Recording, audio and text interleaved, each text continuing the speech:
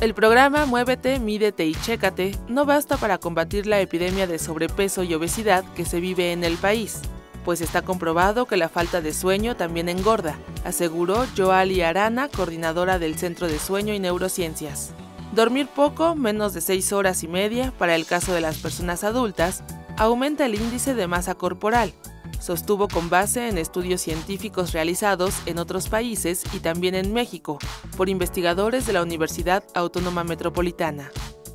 La falta de sueño aumenta el peso corporal porque al permanecer más tiempo despiertos, la necesidad energética es mayor y porque al afectarse la vía neuroendocrina que regula el apetito, este se incrementa, Asimismo, se ha probado que, en condiciones de restricción de sueño, la elección de los alimentos tiende hacia los hipercalóricos, detalló.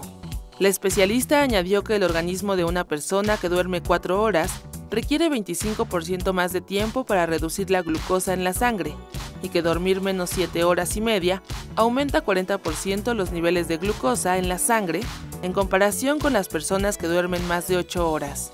Una de las razones por las que la epidemia de obesidad y sobrepeso continúa en aumento, pese a los esfuerzos desplegados a nivel mundial, es que no se está otorgando al factor sueño la importancia que requiere. Destacó que de acuerdo con la estadística oficial,